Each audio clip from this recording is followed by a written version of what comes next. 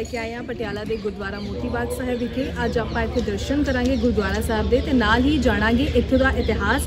ਆਓ ਚਲਿਏ ਤੇ ਕਰੀਏ ਦਰਸ਼ਨ ਗੁਰਦੁਆਰਾ ਮੋਤੀ ਬਾਗ ਸਾਹਿਬ ਦੇ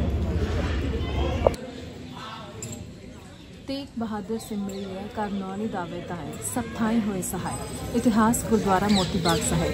ਇਹ ਪਵਿੱਤਰ ਸਥਾਨ ਸ੍ਰੀ ਗੁਰੂ ਤੇਗ ਬਹਾਦਰ ਜੀ ਦੀ ਚਰਨ ਛੋਹ ਧਰਤੀ ਹੈ। ਜਦੋਂ ਸ੍ਰੀ ਗੁਰੂ ਤੇਗ ਬਹਾਦਰ ਸਾਹਿਬ 11 ਹਾੜ 1772 1975 ਈਸਵੀ ਨੂੰ ਦੀਵਾਨ ਮਤੀ ਦਾਸ, ਭਾਈ ਸਤੀ ਦਾਸ ਭਾਈ ਦਿਆਲਾ, ਭਾਈ ਗੁਰਦਿੱਤਾ, ਭਾਈ ਉਦਾ ਰਾਠੌਰ ਆਦਿ ਸਿੱਖਾਂ ਸਮੇਤ ਸ੍ਰੀ ਅਨੰਦਪੁਰ ਸਾਹਿਬ ਤੋਂ ਕਿਰਤਪੁਰ ਸਾਹਿਬ, ਭਰਤਗੜ੍ਹ, ਰੋਪੜ, ਮਕਾਰੋਂਪੁਰ ਆਦਿ ਪਿੰਡਾਂ ਵਿੱਚੋਂ ਹੁੰਦੇ ਹੋਏ ਆਪਣੇ ਮੁਰੀਦ ਸੈਫ ਅਲੀ ਖਾਨ ਦੇ ਪ੍ਰੇਮ ਦੇ ਖਿੱਚੇ ਹੋਏ 16 ਹਾਰ ਨੂੰ ਜਿੱਥੇ ਹੁਣ ਗੁਰਦੁਆਰਾ ਬਹਾਦਰਗੜ੍ਹ ਸਾਹਿਬ ਸੈਫਾਬਾਦ ਹੈ, ਇੱਥੇ ਆ ਕੇ ਬਿਰਾਜਮਾਨ ਹੋਏ।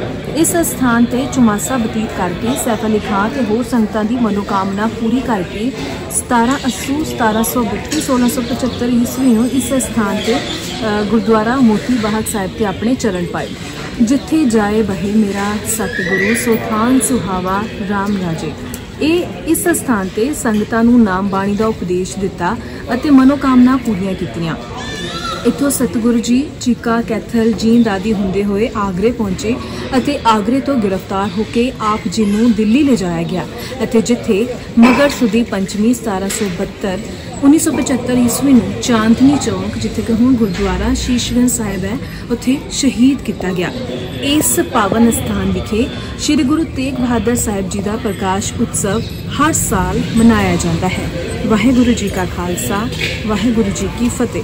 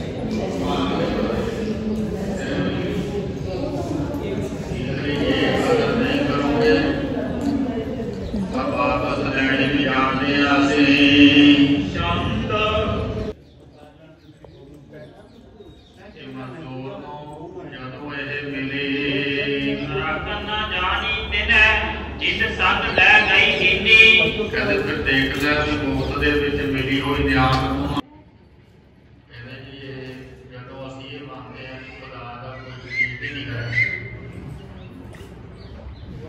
ਉਹ ਆਪ ਹੀ ਆਪਣੇ ਵਰਗਾ ਕਿ ਇਹ ਅਨਲ ਹੱਕ ਜੀ ਕਹਿੰਦਾ ਮੈਂ ਖੁਦਾ। ਤੇ ਚਾਰ ਤਾਂ ਸੂਈ ਤੇ ਚੜ ਚੜ ਕੇ ਆ ਗਿਆ ਤੇ ਉਹ ਭਾਂਡੇ ਨੂੰ ਅੱਗ ਤੇ ਰੱਖਦੇ। ਤੇ ਭਾਂਡਾ ਤਾਂ ਖਾਲੀ ਰਹੇ ਕਪੂਰ ਨੇ ਉੱਡ ਜਾਣਾ। ਪਤਾ ਨਹੀਂ ਨਾ ਰੱਖਣ ਦਾ ਵੀ ਕਪੂਰ ਨੂੰ ਕਿਵੇਂ ਰੱਖੀਦਾ ਆਲਾ ਜੀ ਗਰਮ ਕਰਕੇ ਰੱਖਦਾ ਗਰਮ ਕੀਤਾ ਤੇ ਉਹਦਾ ਭਾਂਡਾ ਫੇਰ ਖਾਲੀ ਦਾ ਖਾਲੀ। ਇਸ ਤਰ੍ਹਾਂ ਜਿਨ੍ਹਾਂ ਨੂੰ ਨਹੀਂ ਪਤਾ ਵੀ ਇਹ ਰੱਖਣਾ ਕਿਵੇਂ ਹੈ ਉਹ ਸੰਭਾਲਣਾ ਕਿਵੇਂ ਉਹਨਾਂ ਦੇ ਹੱਥ ਨਹੀਂ ਰਹਿੰਦਾ। ਖਾਲ ਤੇ ਲੈ ਕੇ ਵੀ ਖਾਲੀ ਰਹਿ ਜਾਂਦੇ ਹਨ ਸੁਪੁਰਾ ਤਬ ਸਤਿਗੁਰ ਕਾ ਬਰਕਤ ਹਿਓ ਤੁਮ ਹਮ ਉਪਕਾਰ ਵਿਸਾਰ। ਸਤਿਗੁਰੂ ਜੀ ਕਹਿੰਦੇ ਬਾਬਰ ਇਸ ਤਰ੍ਹਾਂ ਹੈ।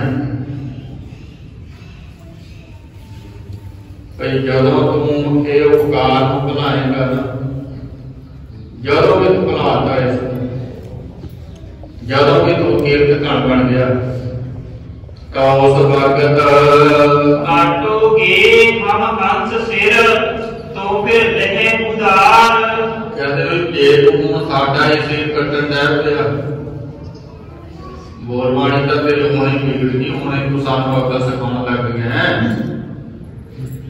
ਹੁਣੇ ਵਿਗੜ ਗਈ ਤੇਰੀ ਬੋਲ ਬਾਣੀ ਤਾਂ ਕਿ ਜਦੋਂ ਸਾਡਾ ਸਿਰ ਕੱਟੇਗਾ ਫਿਰ ਤੇਰੇ ਕੋਲੋਂ ਅਸੀਂ ਲੈ ਲਾਂਗੇ ਵਾਪਸ ਇਹ ਐਵੇਂ ਨਹੀਂ ਹੁੰਦੇ ਪਰ ਜਦੋਂ ਤੂੰ ਸਾਡਾ ਹੀ ਸਿਰ ਕੱਟਣ ਲੱਗ ਪਿਆ ਜੋ ਕੋਈ ਤਬ ਬਾਬਰ ਸੁਣ ਕੇ ਹੱਥ ਜੋੜੇ ਜਦੋਂ ਗੁਰੂ ਜੀ ਨੇ ਗੱਲ ਬਚਨ ਕੇ ਹੱਥ ਜੋੜਦਾ ਬਾਬਰ।